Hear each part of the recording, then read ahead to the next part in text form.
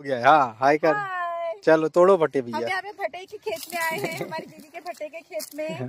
अब हम लोग यहाँ से ताजे ताजे भट्टे तोड़ेंगे बिल्कुल। हम्म।